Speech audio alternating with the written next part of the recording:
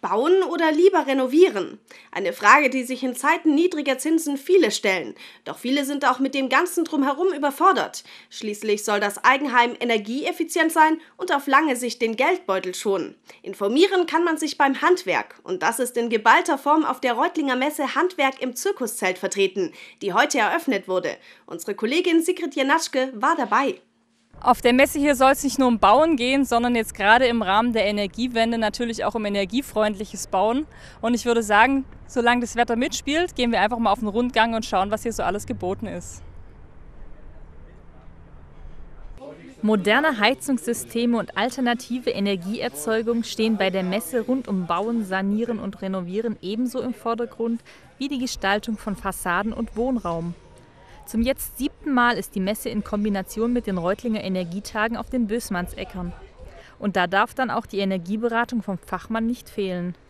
Worauf kommt es denn an, wenn man jetzt ein Haus neu bauen oder auch sanieren möchte? Also es kommt hauptsächlich darauf an, dass man das gesamte Gebäude äh, in Betracht zieht und auch mit der Heizungsanlage und nicht nur einzelne Positionen. Und wie wird jetzt ein Haus besonders energiesparsam? Ja, meistens durch eine neue Wärmedämmung an der Wärmedämmverbundsystem, an der Fassade oder am Dach und neue Fenster. Auch spezielles Duschmöbeljahr gibt es zu sehen, etwa wie dieses Sofa mit integrierter Heizung.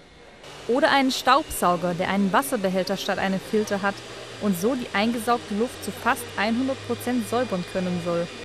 An anderer Stelle wollen Mitarbeiter des Landes Baden-Württemberg die Besucher über die Energiewende informieren und zeigen, welche Umweltziele das Land bis 2050 verfolgt.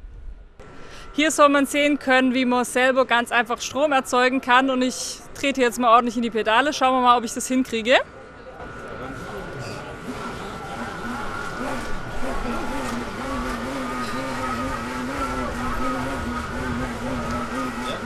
Juhu!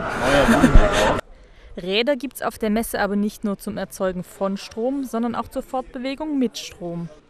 Wer will, kann aber auch elektrisch angetriebene Zweiräder der anderen Art testen, die sogenannten Segways. Auch morgen ist die Messe von 11 bis 18 Uhr nochmal geöffnet. Und während sich die Eltern informieren, können sich die kleinen Besucher beim Kinderprogramm amüsieren. Im Zirkuszelt war hier jetzt gar nicht so viel, sondern sehr viel vor allem auch um das Zirkuszelt herum.